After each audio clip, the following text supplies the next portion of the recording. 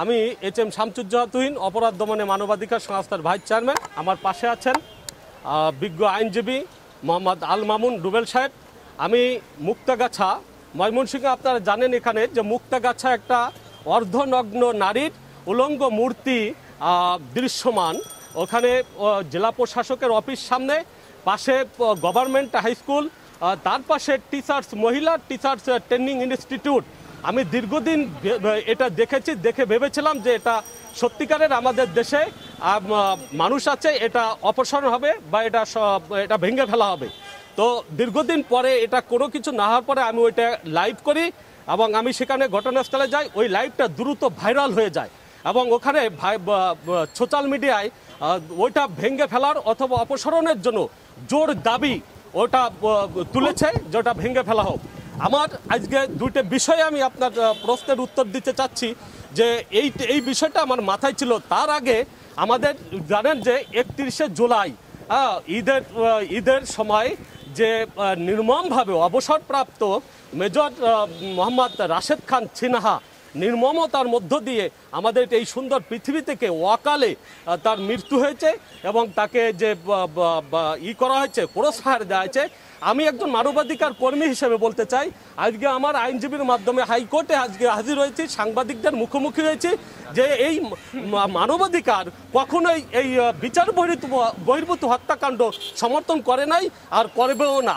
আমি সবচেয়ে বেশি দৃঢ় কণ্ঠে বলতে চাই যে বাংলাদেশের সর্ব সর্ব অধিক আইন শৃঙ্খলা বাহিনীর কিছু দুষ্কৃতী লোক তারা এই বিচার বহির্ভূত হত্যাকাণ্ড বেশি দেখিয়েছে এবং তারাই আমাদের এই সর্বোচ্চ আদালত এবং নিম্ন আদালত যে আদালতগুলো আছে আদালতকে বৃদ্ধাঙ্গুল দেখিয়েছে। আমি আশা করব যে আমাদের এত সুন্দর আইন শৃঙ্খলা বাহিনী এবং বিচার ব্যবস্থা থাকতে কখনোই যেন আর ক্রস ফায়ার বিচার বহির্ভূত হত্যাকাণ্ড না হয়। আমাদের জজ আছে, ব্যারিস্টার আছে বিচার ব্যবস্থা আছে আদালত আছে সুপ্রিম কোর্ট হাইকোর্ট সবই আছে।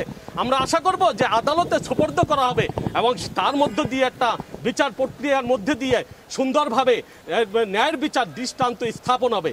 আমি এই বিচার বহির্ভূত হত্যাকাণ্ড আমি দারুণভাবে ঘৃণা করছি এবং আশা করি যে আমার আইনজীবী, বিজ্ঞ আইনজীবী, তিনি আমার, তাকে আমি এই ফাইলটি দিব যে আপনারা দেখেন, এই যে অর্ধ উলঙ্গ একটা নারীর মূর্তি, এটা জনসম্মুখে রাখা হয়েছে এবং এখানে ছেলেমেয়েরা যায় কলেজ আছে স্কুল আছে, জেলা প্রশাসকের অফিস এইটা যেন দ্রুত আদালত আমলে নেবে। আশা করি যে আমি মানবাধিকার কর্মী হিসেবে আশা করি আদালত এটা আমলে নিয়ে যথার্থ এটা অপসারণ বা ভেঙে ফেলার নির্দেশ দিবে।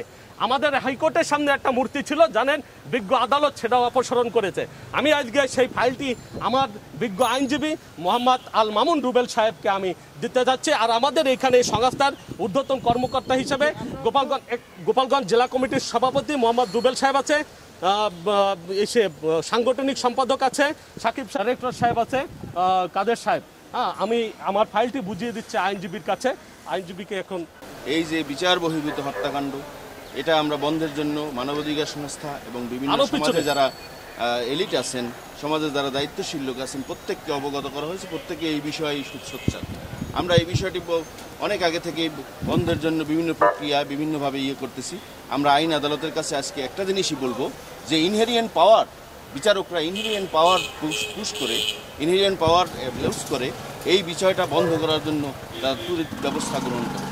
এবং আরেকটা বিষয় আজকে, ময়মনসিংহের যে মূর্তিটার বিষয়, এটা এই মূর্তিটা অপসারণ করা হোক, প্রশাসনকে আমরা অনুরোধ করতেছি, তারা অবহিত আছেন, তাদেরকে আর আমরা বারংবার অবহিত করতেছি।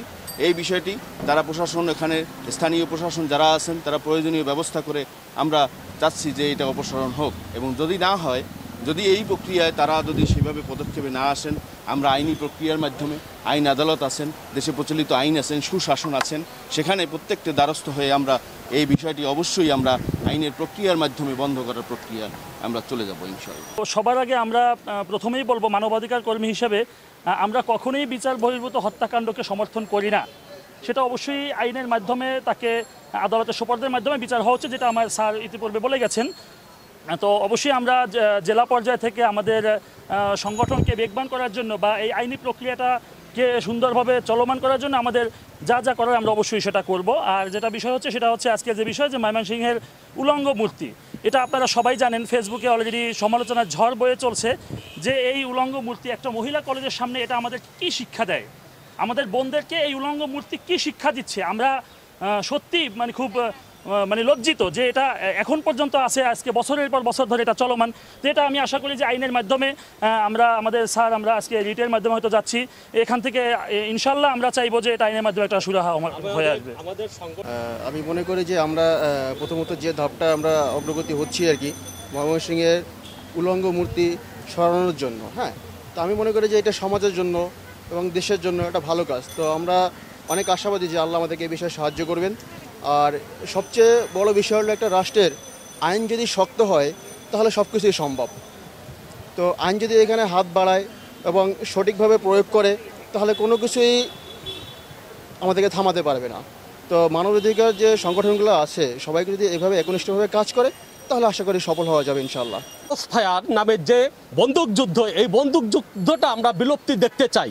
না এই বন্দুক যুদ্ধটা আমাদের চলমান আমরা চাই। কোনটা চাই আমরা? আমরা অবশ্যই বন্দুক যুদ্ধটা বিলুপ্তি হোক এবং আইন আইন এটা যথাযথ। আইনের হাত বৃদ্ধি করে, এটা শক্ত হাতে যেন এটা আইনের আওতায় নয়, যেই বন্দুক যুদ্ধে নিহত যে ক্রস ফায়ার দেবে, তাকে অবশ্যই আইনের আওতায় আসতে হবে। আমার এইটার দাবি। আমি মানবাধিকার কর্মী হিসেবে আমার আইনজীবী পাশে আছে। আমি আশা করব যে আমার আইনজীবীও এটা সমর্থন দেবে যে অবশ্যই একটা স্বাধীন দেশে কখনো ক্রস ফায়ার নামে এই বন্দুক যুদ্ধ, সাজানো বন্দুক যুদ্ধ, এই বন্দুক যুদ্ধ আমরা দেখতে চাই না। এই বন্দুক যুদ্ধের নামে বহু মায়ের কোল খালি হয়েছে। আজকে সর্বশেষ আমাদের একজন মেজর হ্যাঁ মেজর অবসরপ্রাপ্ত যিনি আসলে অত্যন্ত চৌকস অফিসার ছিলেন, পাঁচজনের মধ্যে হাতে গোনা একজন, তার বলি হতে হয়েছে। আমরা আর এটা দেখতে চাই না। আমি এই বলে আমি শেষ করছি। আসসালামু আলাইকুম।